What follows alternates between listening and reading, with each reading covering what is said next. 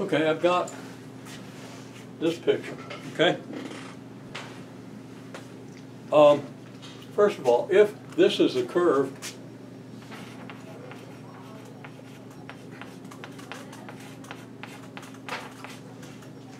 y equals f of x. Okay, where f of x could be any combination of power functions and exponentials and sines and cosines and other functions you've never heard of, okay? And many that you have, okay?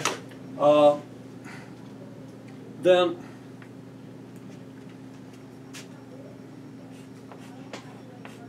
just a little notation.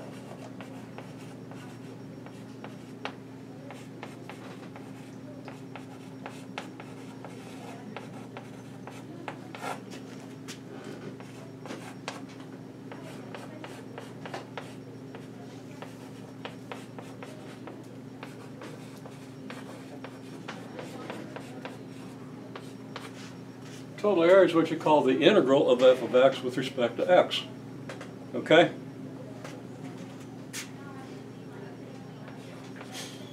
On the interval,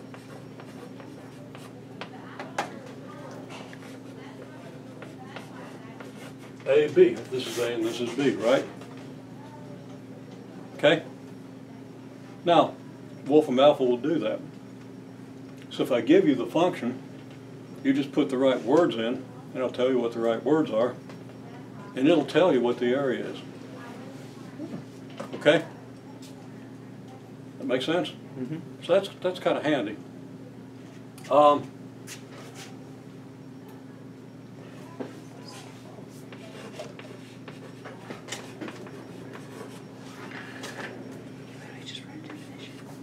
denoted by this sign. Now, what are you doing when you do this area? You're doing a sum of all the little areas, right? Now, an integral is just a limit of what we do here as the width of your subintervals approaches zero, okay? It's just a limit of what you've done here, but, you know, you, you develop that. We're not gonna develop that, okay? I'm just telling you, you'll see that when you take calculus. Okay, well, it's denoted by this. Now, this thing is kind of like an elongated S. It's an integral sign. It kind of stands for a sum, okay? Because it's a sum, it can be visualized as a sum of areas, okay?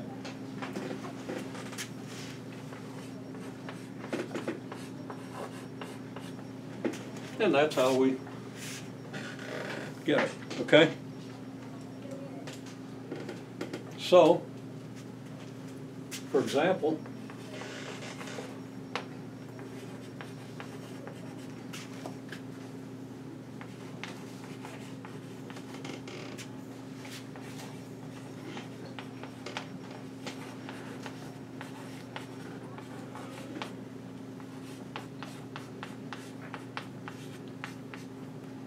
basic area, the area under the basic graph of f of x equals 2 to the x, which you know how to sketch, and you can guarantee that you'll have to sketch some of these on the exam and, you know, do the tables, no calculator, okay?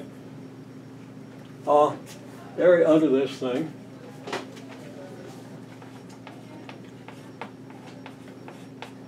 is just the integral from negative 2 to 2. When I say the basic graph, it goes from negative 2 to 2, right? Of 2 to the x dx. Okay? And all you got to do to find that area using Wolfram alpha is write the word integral and then probably some parentheses. I haven't even looked it up. You can find it. Okay? But I'll find it for you and give you some instructions this afternoon, okay? And then you just put in 2 raised to the x and then specify that x is the variable. You'd think it would know, but you, you, you have to tell it that. Because sometimes you have more than one variable and you got to integrate with just respect to one of them. And you don't have to worry about that, but there's a good reason why they insist that you tell it what the variable is. And then the negative 2 and the 2, okay? That's all the information you got to give it. 2 to the x, x is your variable, it goes from negative 2 to 2. Okay? Then, if you were to do the trapezo- trapezoidal graph, and this would be a typical thing I maybe ask you to do, okay? So here's negative two, and here's two. And you do a bunch of trapezoids. And you get your accumulated areas, and I'm gonna have trouble putting parentheses in. And I'm not gonna put anything else in here, because it's the parentheses that matter, although when you do it, you would want to indicate everything, right? And it's gonna be pretty close to this if you use a lot of intervals, okay? So,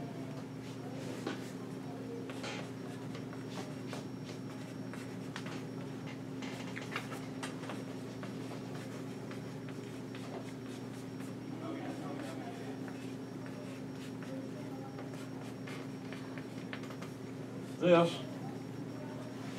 should be pretty close to what Wolfram Alpha tells you here. Okay? Now again, you'll learn how to do that in a calculus class.